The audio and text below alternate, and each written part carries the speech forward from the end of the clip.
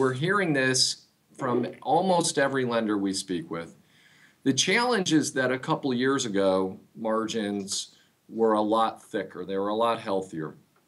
And as more uh, companies went into the market, as more multi line uh, lenders that could choose to do mortgage, credit card, commercial started putting the focus on auto, it's created an environment where you have to have your rates precise.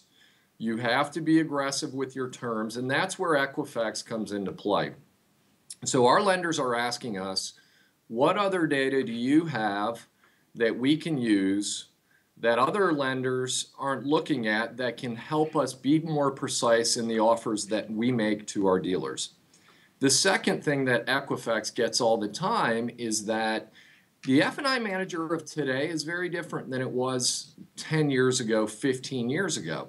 We used to be able to spend a lot of time going back and forth and negotiating the call and discussing with our dealers the terms of our approval and trying to fit it for uh, what the dealer was trying to accomplish.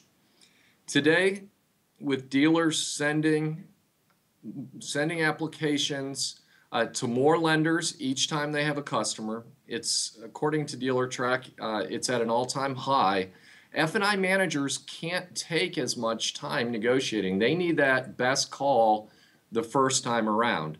So, what the lenders are coming to us with is we know we have to be faster on our approvals. We know margins are very tight. So, Equifax, we need the data, we need the insights, we need the analytics to accomplish both of these things on behalf of our dealers.